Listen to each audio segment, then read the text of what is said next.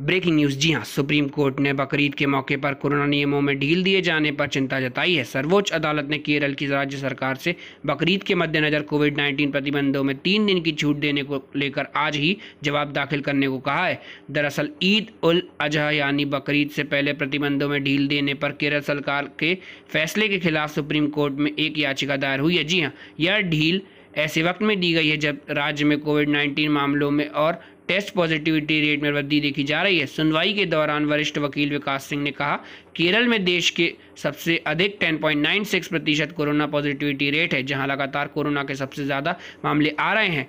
ऐसे में ये छूट देना सही नहीं होगा। यूपी में कोरोना पॉजिटिविटी रेट सिर्फ़ 0.04 प्रतिशत है।